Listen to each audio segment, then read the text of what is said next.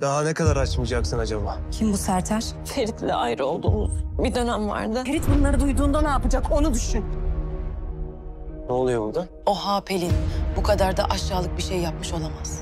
Bebeğin babası benim Serter. Sen ne demeye çalışıyorsun?